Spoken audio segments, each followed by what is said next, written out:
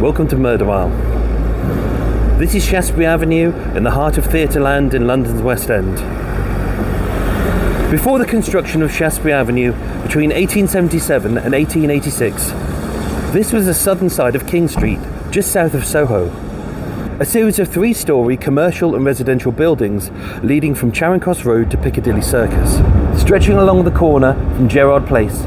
In a spot now occupied by Nassau House, once stood a series of lodging houses, not dissimilar to number 2 Gerrard Place, just around the corner. For almost a year, this was the home of Mr. and Mrs. Heisse and their little family. On Wednesday, the 21st of December 1853, 27 year old Hannah Heisse, a married mother of one, gave birth to a baby daughter, later to be joined by her 34 year old husband, a tinplate worker called Bertolt Heisse. For three days, being cared for by Bertolt and her mother, Hannah rested as this prolonged birth had left her weak.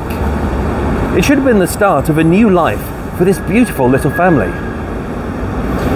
But owing to a little thing called jealousy, on Saturday, the 24th of December 1853, Bertolt would unleash a bloody massacre and destroy this whole family forever. But why?